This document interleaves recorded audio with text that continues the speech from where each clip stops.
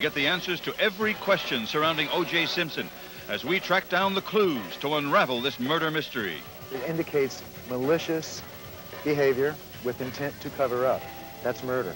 Then a current affair is on the scene in Chicago for more details on the investigation. Says Simpson was not there when the driver went to pick him up, and that 15 minutes later, O.J. appeared looking sweaty and agitated.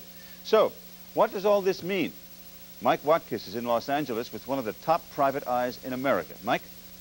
Jim, this Simpson murder mystery really seems to have more twists and turns than an Agatha Christie novel. And for every one answer, there seems to be 10 questions.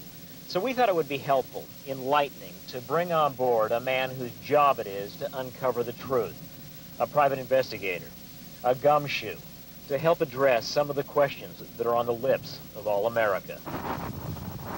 He is renowned Los Angeles PI Marcus Joseph, a man who has spent much of his long career handling some of the most difficult and high-profile investigations in this city, a man who teaches others how to be private investigators.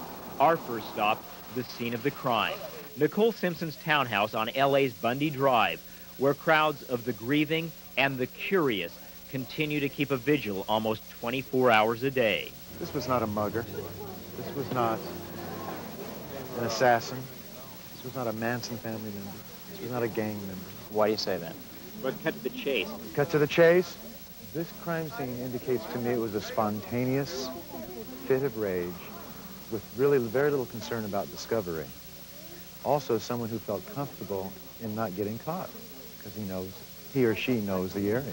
Does this, from what you've seen of that crime, does this fit the classic crime of passion scenario? Precisely, precisely. And while Marcus Joseph emphasizes these are only his educated opinions and that he has no independent knowledge of O.J. Simpson's innocence or guilt, he says some elements of this crime are easy to read. I feel looking at this particular scene, based upon where I've seen the bodies being recovered,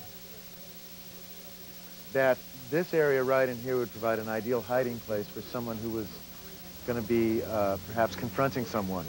Or even better still, on the inside if you had access, such as a key, or if you were willing to climb one of these gates. Everybody wonders. They say that this kid, apparently from the, the wounds on his body, he put up a serious fight. Young Goldman put up a serious fight. As you noted, there are neighbors right across, the street's very busy. There's neighbors right here. There's neighbors right there. Why didn't anybody hear this fight? Because I don't believe it occurred as a confrontation. It occurred as attack as an attack. It's not unusual for murder victims not to scream out unless they had ample warning. And this crime indicates that someone was ambushed. And Marcus also believes the victims were attacked separately, perhaps minutes apart.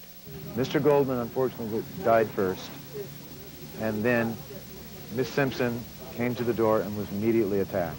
And from his analysis of the evidence, the bottom line, according to private investigator Marcus Joseph, is Whoever committed this crime had an intimate relationship with either of the victims and was in a state of psychological rage at the time. Our next stop with the private investigator, two miles away at the palatial home of O.J. Simpson. According to published reports, a bloody glove was found here. How damaging in your mind would that be? If, in fact, there is a bloody glove, uh, that would indicate to me premeditation on the part of the perpetrator of this crime it would perhaps take it to a murder one charge, potentially with the death sentence involved.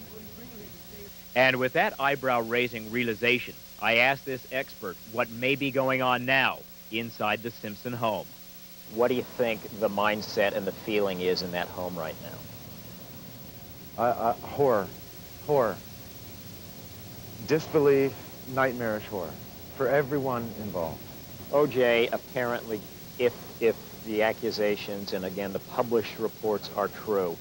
He left here and he made a quick exit down to LAX. Do you think he could have made it from here to LAX in, in the time frame we're talking about? Absolutely. No problem whatsoever. So our last stop of the evening, Los Angeles International Airport.